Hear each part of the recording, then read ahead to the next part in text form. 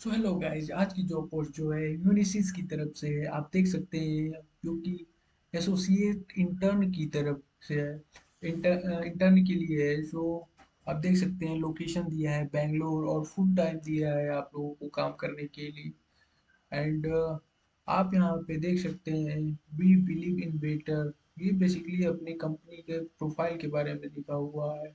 And you can see a lot of things it is written here and you can read everything. You can be successful in role have so master degree program majority in computer science. So yeah you can read here and i will put this link in my description and you can apply it.